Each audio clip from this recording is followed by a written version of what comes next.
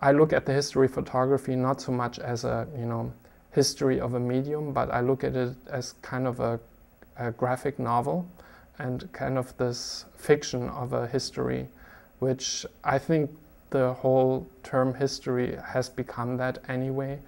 This rendering of photographs that I used in the History of Photography remix flattens the surfaces.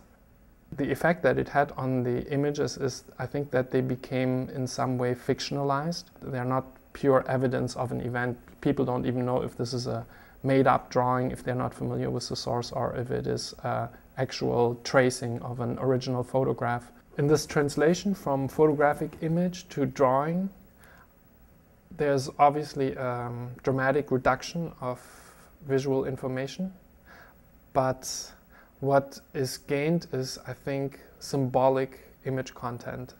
And, and, I think drawings have a higher symbolic image content than um, photographs do. Like, or drawing an object is almost like writing a text. Um, if you make a drawing of a mountain, it's almost like spelling the word mountain M O U N T A I N. The letters mountain uh, are a combination of graphic symbols that in our mind give meaning to this you know, geographic structure. The same way that a drawing of a mountain kind of gives, gives a symbolic image to this other image that exists in the three-dimensional world.